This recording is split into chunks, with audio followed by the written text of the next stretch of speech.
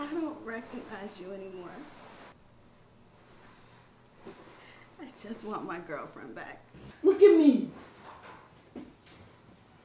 Please see me.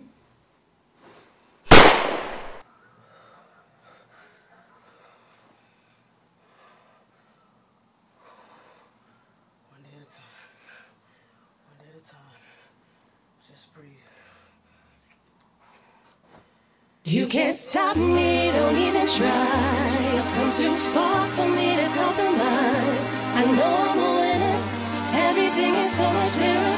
From the moment that I looked into the mirror, I see me with so much pride.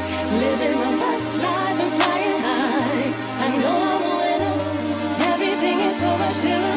From the moment that I looked into the mirror. Man, I've been waiting my whole life. It feels so right to walk in light to get the full view. You know the full me, I mean the full you. Been waiting forever to meet you. So lovely to see you, just to see you.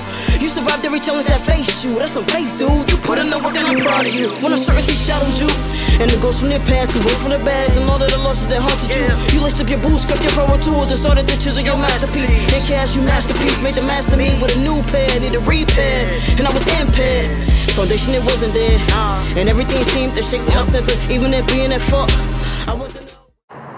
I think people also have to understand too when you look at transitioning, sure, there isn't a right or wrong way to do it, and it's all case by case. And the way people look at their bodies and their their choices is all case by case too. Right, right. So if someone identifies as trans, but they express and present themselves in this particular way, it doesn't take away from who they are or their experience just because it's not the way this person does it over here.